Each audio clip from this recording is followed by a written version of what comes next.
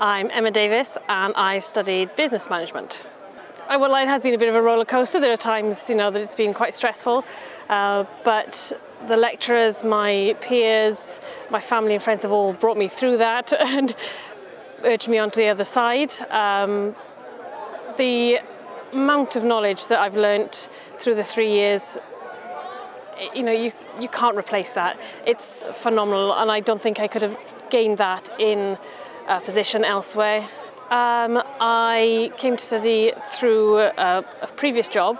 I was a property manager for a private landlord. I uh, loved the job I did, but knew I had something more to give, and I just wanted to get a qualification behind me to justify, you know, pushing myself forward. Um, so I gave up that job and came to be a student full time. Um, I was 36, single mother, um, and I've just loved every second, really. It's just been a phenomenal experience, and I would just highly recommend it to everybody. I'd like to say I wish I did it earlier, but I'm glad I did it now, really. So, yeah, full time, and now back to work.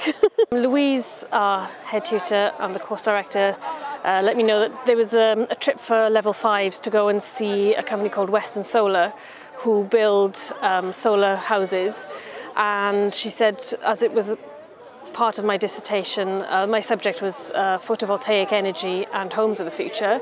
She thought it would be really beneficial for me to go. So I went uh, to meet Dr. Glenn Peters, who is the owner of the company.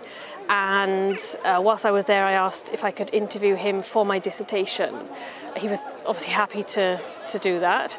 So I went back, dictaphone in hand, question sheet, and was cheeky enough to ask how I would get a job with him at the end. And he offered me a position as project manager for Western Solar. Um, it's going to start off as a temporary basis, just as an internship, see where we go, but we're going to go from there.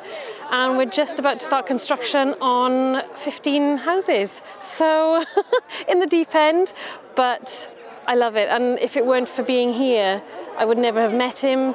I would have never been cheeky enough to ask him for a job. And he's gracious enough to give me the opportunity to work in a sustainable company, building homes for people using solar energy. You know, I, I couldn't think of anything better. That, that is just a dream, really.